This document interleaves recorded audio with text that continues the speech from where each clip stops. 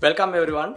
So this particular competition is open for uh, the grade 6 students to A-level students. But this is a really valuable opportunity for you to show your potentials under the artificial intelligence.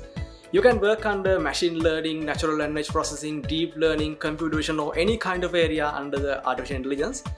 Basically this program is having uh, two different levels. Under the first level, you have to present your novel idea using the artificial intelligence concept. And the second level you have to show a kind of a prototype of your system. So welcome everyone to the program. Thank you so much